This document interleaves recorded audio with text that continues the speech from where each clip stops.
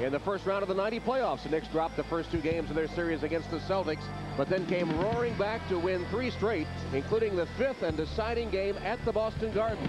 Patrick Ewing with a clinching three-pointer, and Larry Bird, he's had 31 points in Game 5 to lead their team. Stu Jackson and the Knicks beating the Celtics after losing the first two. And uh, that was a best of five series. This is a best of seven. That series back in 1990, one of the bleakest days in Celtic history. Larry Bird missed a reverse dunk in the closing moments that would have iced the game for him. And Ewing's clincher. Oh, what a block by Davis. But right into the hands of Ward. Three to shoot, two to shoot. Sprewell lost it on the way up, and a shot clock violation. They're going to call a foul. Whoa. Larry Bird, he's going to get a technical. He is upset. There's been a long history of calls that have gone against this Indiana team in this building. And Bird felt that that technical foul on Croshere early on. That's a tough call right there. Well, he got him when he got his hands back on the basketball. Miller knocked it out. It came right back to him. Sprewell just continued that motion. And the crowd is in it now. Our Memorial Day weekend NBA coverage continues tomorrow. Showtime at 3 Eastern. Then game four of the Western Finals between Shaq and the Lakers and Scottie Pippen and the Blazers. 3 o'clock Eastern time for Showtime tomorrow. And then game four, the Lakers and the Blazers. What a game last night, huh? Yeah, terrific game for the Lakers in uh, getting off to a real rough start re rebounding, and then Portland getting back into it, looking for more of that tomorrow.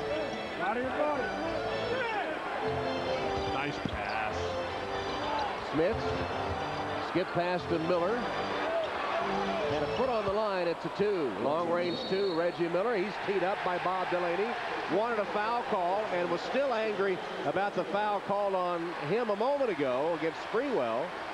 And so Miller gets the tee. All Reggie Miller is asking for is consistency. Said if you're going to call the reach in on one end on the exact same play, why don't it?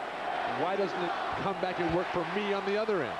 It, it cost him a point as Houston sinks the technical. Let's check with Jim. Tom Bill must read lips because that's exactly what he said. It's the same way on both ends. You got to call it. Bob Delaney didn't want to hear that. Tom? All right, New York with the ball. Charlie Ward, you know, with the big guys out, you can't afford turnovers, and New York has not turned it over in the last 14 minutes. Larry Johnson, tough shot. Well, Larry Johnson has really developed that left hand half hook against Dale Davis, six and a quarter for Johnson. He's three for three in this third quarter, and New York has a four-point advantage. Miller will shoot two. Reggie just sits there and stares right back at Bob Delaney and says, now that's got to be a foul.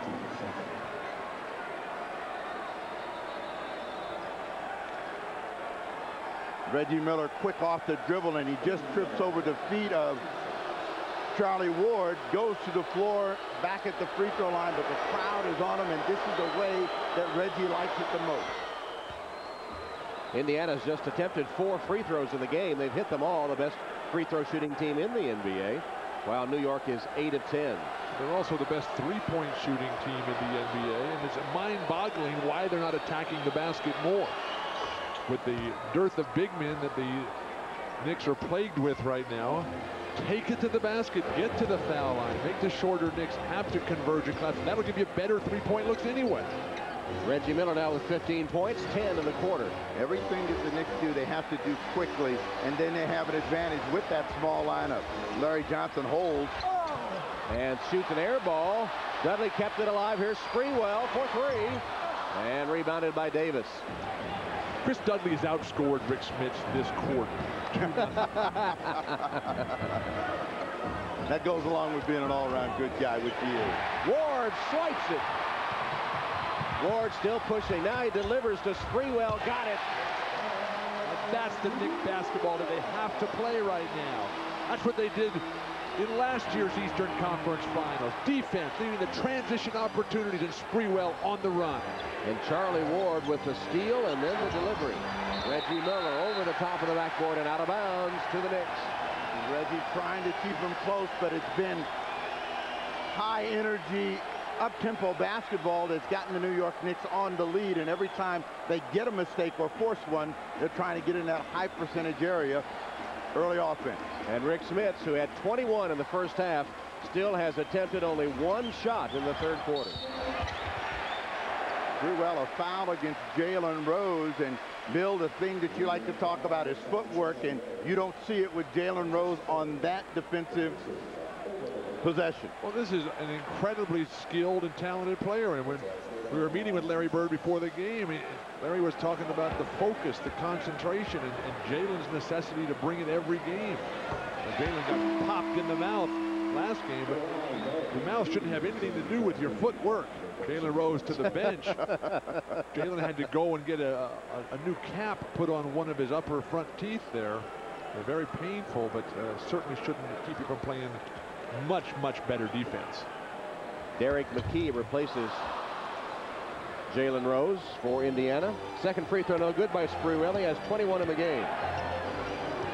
Aggressive quarter for Sprewell, Johnson, and Allan Houston. Dale Davis said, where's the whistle? Everybody stopped as, as it looked like he got assaulted. Dale with 10 points and 14 rebounds, the double-double for Indiana. Well, for the Knicks, they need more separation. It's only a three-point ball game, and their biggest lead was in that first quarter, and Indiana overcame it. Houston. Allan Houston, yes, little finger roll. It rolled around the rim and fell through for Allan, who has 18. Sprewell with 21, Houston with 18 to lead New York. Smits with 21, Miller with 15, Davis with 10 for Indiana. Rick Smits. Beautiful. What a stroke. Only his second shot of the quarter. He has 23 points. He had to go way out on the rim to get that one. Rick Smits is not the type of player that gets his own shots, especially at the perimeter shots. Somebody Jackson. But my point is, why have they forgotten about it? Why haven't they been getting him Go shots? ask Mark Jackson. Go ask Larry Bird. Dudley stripped away by McKey. New York gets it back with five to shoot.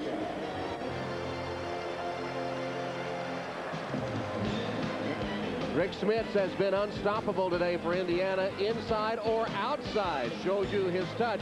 He has 23 on 11 of 17 shooting.